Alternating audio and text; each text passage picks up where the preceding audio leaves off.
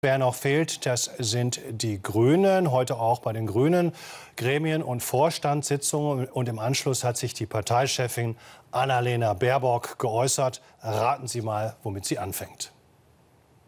Ich möchte gerne noch einmal auf die Kohlekommissionsergebnisse eingehen.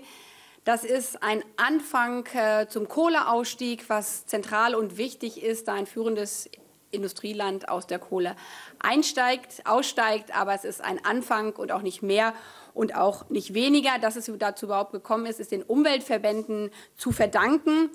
Wichtig ist jetzt, dass das viele Geld, was in der Kommission auch mit bereitgestellt wird, im Sinne der Öffentlichkeit und äh, der allgemeinen Interessen eingesetzt wird.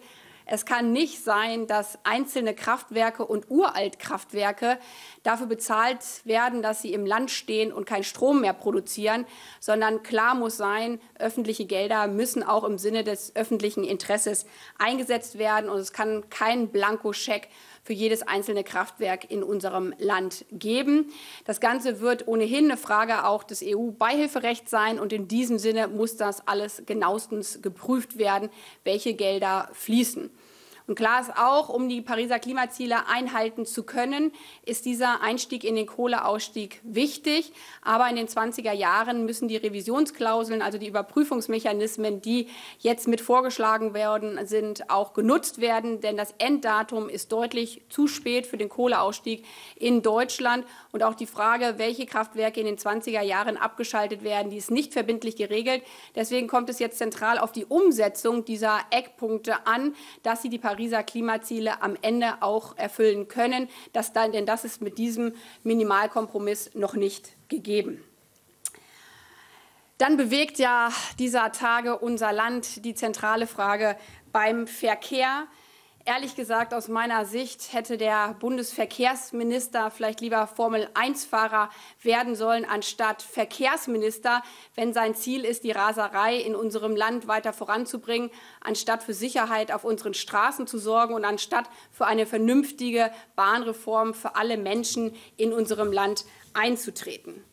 Wir sind ein Land, das von Spitzenforschung, Spitzenwissenschaft und äh, hohem Ingenieursgeist lebt und das jetzt eine internationale Community im Forschungsbereich noch mal klarstellen muss, warum Grenzwerte eingehalten gehören, wie sich wissenschaftliche Ergebnisse zusammensetzen, weil offensichtlich ein Verkehrsminister geltendes Recht zurechtbiegen will. Das ist aus meiner Sicht tief peinlich und es beschädigt auch den guten Ruf Deutschlands im Bereich von Wissenschaft und Forschung weltweit. Wir haben kein Grenzwerteproblem, sondern wir haben ein Diesel- und Verkehrsproblem und dem müsste sich das Bundesverkehrsministerium und die gesamte Bundesregierung annehmen, anstatt die gesamten Vorschläge, die jetzt auf dem Tisch liegen, einfach so wegzuwischen. Zentral ist eine andere Verkehrspolitik die für mehr Mobilität für alle Menschen in unserem Land sorgt, mit weniger Emissionen.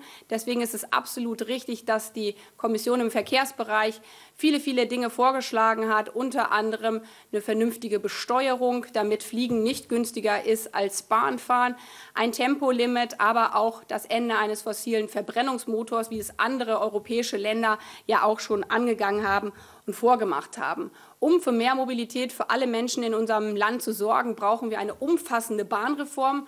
Und eine Bahnreform bedeutet nicht, dass wir die Ticketpreise teurer machen können, sondern wir müssen die hohen Gewinnerwartungen des Bundes ändern darin in dem Bundesschienenausbaugesetzes, dass das Ziel der Bahn ist, für Mobilität für alle Menschen in unserem Land zu sorgen. Die Ticketpreise müssen gesenkt statt erhöht werden, damit sich jede Familie in unserem Land Bahn fahren auch leisten kann.